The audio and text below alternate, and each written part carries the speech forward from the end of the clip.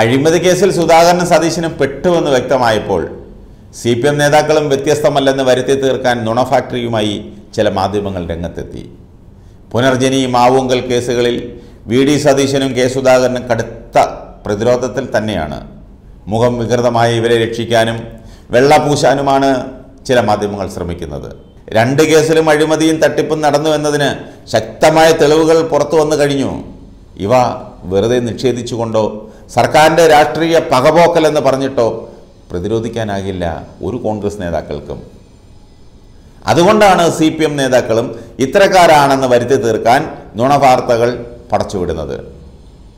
വസ്തുതകൾ ഉണ്ടോ എന്ന് പരിശോധിക്കാതെ യുക്തിരഹിതമായ കച്ചിത്തുരുമ്പുകളിലും വ്യാജ വാർത്തകളിലും കയറിപ്പിടിക്കുകയാണ് ഇവിടുത്തെ മാധ്യമങ്ങൾ. അത്തരം വാർത്തകൾ ഒരു ദിവസത്തിനപ്പുറം നിലനിൽക്കുന്നുമില്ല.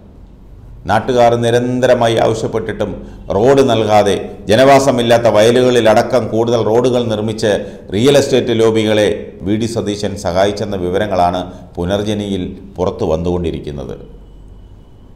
ഇതിനിടയിൽ അനധികൃതമായി ലഭിക്കുന്ന പണം ഗൾഫിൽ പഞ്ചനക്ഷത്ര ഹോട്ടലുകളിൽ നിക്ഷേപിക്കുന്നുവെന്ന ഞെട്ടിപ്പിക്കുന്ന വെളിപ്പെടുത്തലും ഉണ്ടായി. സ്വന്തം പാർട്ടിക്കാരനായി യൂത്ത് കോൺഗ്രസ് മുൻ ജില്ലാ ജനറൽ സെക്രട്ടറി രാജേന്ദ്ര പ്രസാദ് തന്നെയാണ് ഈ വിവരം വിജിലൻസിന് നൽകിയത്. വേറെ ആരുമല്ല. ഒരു രാഷ്ട്രീയ എതിരാളികളുമല്ല. സി പി എമ്മോ സി പി ഐയോ എൽ ഡി എഫോ അല്ല. സ്വന്തം പാർട്ടിക്കാരൻ കൂടെ നടന്നവൻ തന്നെ. മോൺസൺ മാവുങ്കലുമായി ചേർന്ന് അനധികൃത ഇടപാടുകൾ നടത്തിയെന്നുള്ള തെളിവുകളുടെ അടിസ്ഥാനത്തിലാണ് സുധാകരനെതിരായ കേസ്.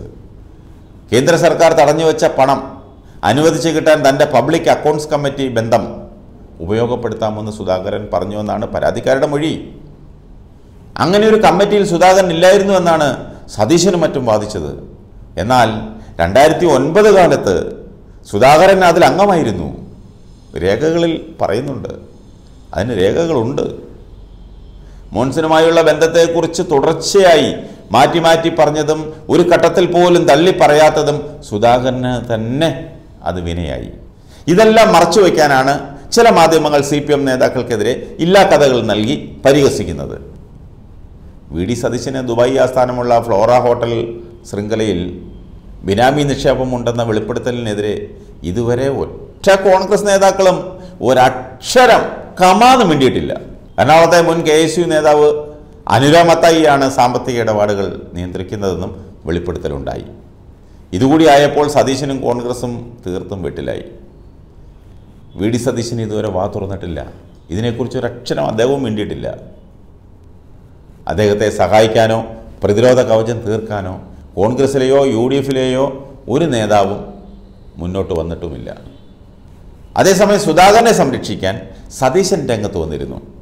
പക്ഷേ സതീശിന് വേണ്ടി കെ സുധാകരൻ പോലും വേണ്ടിയിട്ടില്ല അവിടെയാണ് രസം. ഏതായാലും സുധാകരനും സതീശനും പെട്ടു. ഇവരുടെ മുഖംമൂടി അഴിഞ്ഞു വീഴും. സ്വന്തം പാർട്ടിക്കാർ തന്നെയാണ് വലിച്ചു കയറി ഭിത്തിയിലൊട്ടിക്കുന്നത് വേറെ ആരുമല്ല.